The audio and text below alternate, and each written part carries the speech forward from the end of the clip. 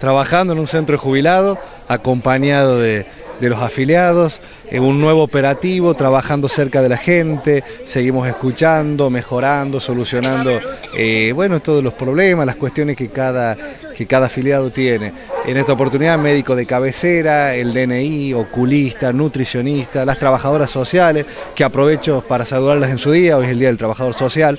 Eh, y bueno, y con esto acercamos los servicios de, del PAMI, los servicios de la obra social a todos los adultos mayores. Eh, contento, con mucho trabajo, avanzando mucho y la verdad con un gran respaldo de la gente y eso la verdad que nos da una enorme satisfacción, algo que en política no tiene precio, ¿no? el reconocimiento de la gente.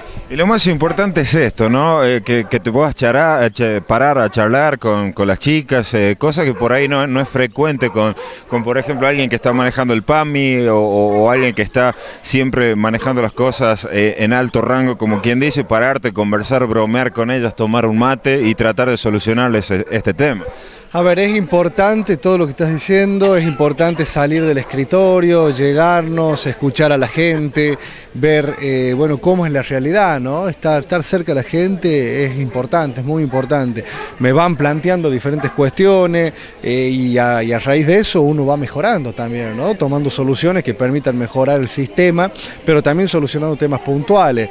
Eh, sabemos que hay mucho todavía por hacer, sabemos que esta es una lucha diaria, permanente que tenemos, sobre todo en materia de salud, con cada uno de los prestadores. Pero lo bueno es que hay todo un equipo con un gran compromiso, eh, con responsabilidad, con seriedad y que damos todo de nosotros para que día a día nuestros abuelos puedan estar mejor.